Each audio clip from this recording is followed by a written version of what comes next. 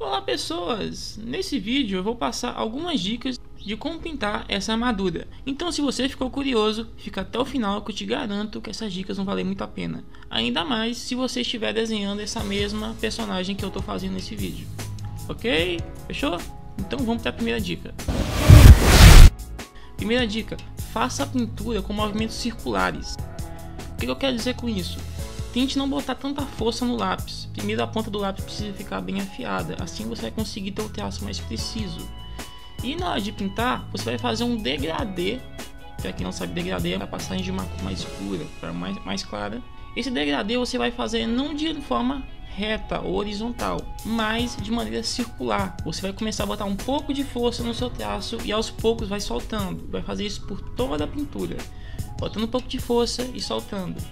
Dessa forma vai demorar um pouco mais, só que a sua pintura vai ficar muito mais homogênea, muito mais uniforme, realista.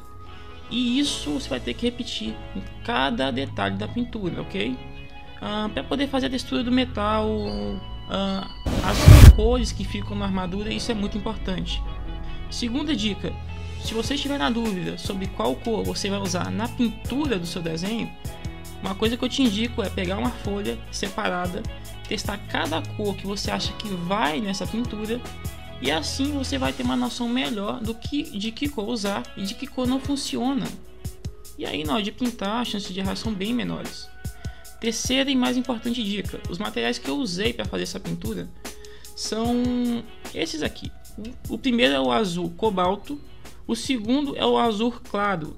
São os dois da Faber-Castell, mas eu acho, acredito que se você tiver de alguma outra marca tem o mesmo resultado também.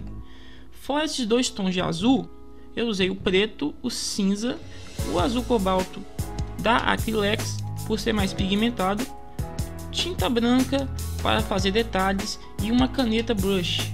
Para quem não sabe, caneta brush é uma caneta de ponta pincel, tá? Quanto à tinta branca e a caneta brush, isso aí é opcional, é uma coisa que eu gosto de fazer nos desenhos para dar um detalhe a mais, um brilho a mais, um contorno melhor mas você pode fazer um contorno com um marcador de CD de ponta fina, dá o mesmo resultado. Quanto à tinta branca, se você tiver uma caneta gel branca, o resultado vai ficar ainda melhor, ok? Então, além disso, use as cores preto, branco, cinza, eu acho que eu já falei. Esses foram os materiais que eu usei na pintura. E caso você esteja com na dúvida ainda, vai estar aparecendo no vídeo a lista completa de materiais, tá? Então se você quiser anotar, é só dar um pause e anotar cada um dos materiais que estão aparecendo aí, beleza? Além de estar aparecendo no vídeo, também vai estar na descrição. Então é isso que eu tinha para falar. Espero que goste do vídeo. Tô ficando por aqui. Vejo você na próxima semana. Se gostou, se inscreva, compartilhe com seu amigo aí, que isso me ajuda bastante. E falou!